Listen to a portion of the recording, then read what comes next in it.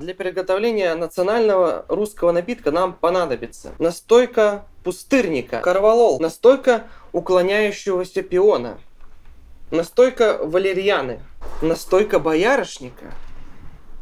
Мы их будем смешивать. Должна быть какая-то емкость. А, главное зубы. Берегите зубы всегда, когда открываете такие бутылки. Фу. Да. Ну, кстати, приятнее. Видишь? На тебе, на тебе валерьяночки. Кот тоже любит такие напитки. Все. Национальный русский напиток готов к употреблению. За ваше здоровье. Вставай, Россия, с колен. За стабильность, за духовность. Спивайтесь, и Россия обязательно встанет с колен.